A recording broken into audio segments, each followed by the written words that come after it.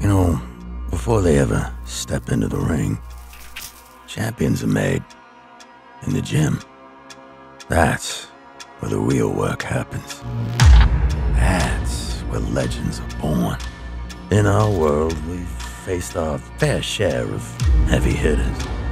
Labor shortages, skyrocketing material costs, and uh, supply chain problems. But you know what? We've got resilience coursing through our veins. We don't back down. We dig in, fueled by our grit and tenacity, standing strong and unshakable.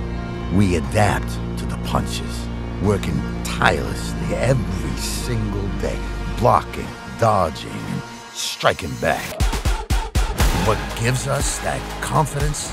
It's the relentless work we've put in, day after day. We've trained, sharpened our skills, and prepared ourselves for anything that comes our way. You can bet your last dollar we'll be there. Because we're Berger. We're always at the ready.